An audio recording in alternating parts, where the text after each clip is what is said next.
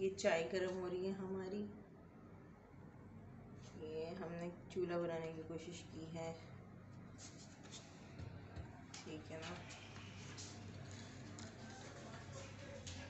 देख रहे हैं कि पतीला थोड़ा थोड़ा गर्म हो गया है। पतीला गर्म हो गया तो फिर चाय भी गर्म हो ही जाएगी। शाम की चाय इसको हम गर्म कर रहे हैं। एक्चुअली मुझे किसी ने बताया था कि जो शॉपर्स होती हैं, बहुत अच्छी जलती हैं तो चले अभी इस शॉपर को जलाते हैं। एक हाथ में मोबाइल है और एक हाथ से हम काम कर रहे हैं तो ऐसा तो जला दिया है। अब हम इसके ऊपर अपना ये रखते हैं और इस पर रखते हैं हमारा बर्तन आ जाएगा। ठीक है? देखते हैं इसको कितना ये पकता है। चूल्हा स्टार्ट हो गया है हमारा, ये देखें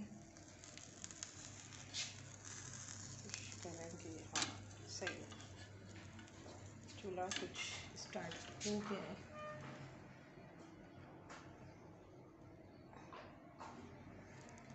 मजबूरी के तहत आप इस तरह से अपनी चाय गर्म कर सकते हैं। चाय हमारी गर्म होना शुरू हो गई है वैसे थोड़ी थोड़ी। तो हम बर्तन की मदद से कवर कर देते हैं। अच्छी गर्म हो जाए। चूल्हे की कंडीशन देख लेते हैं। चूल्हा जल रहा है। अल्हम्दुलिल्लाह।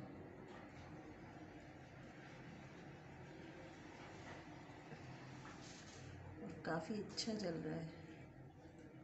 इसमें के चाय भी अच्छी गर्म हो जाएगी। ये देखिए एंटरटेनिंग है ये मेरे लिए। इस तरह से अपने बच्चे को चाय गर्म करके, सालन गर्म करके आप खिला सकते हैं। तो आपके घर में गैस ना हो तो ऐसे अभी है ऑन चाय की सूरत है काफ़ी गर्म हो गया है।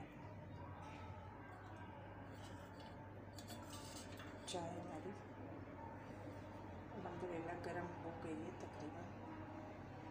थोड़ी सी और हो जाए तो मज़ा आ जाए। थोड़ा फ्लेम अभी चल ही रहा है।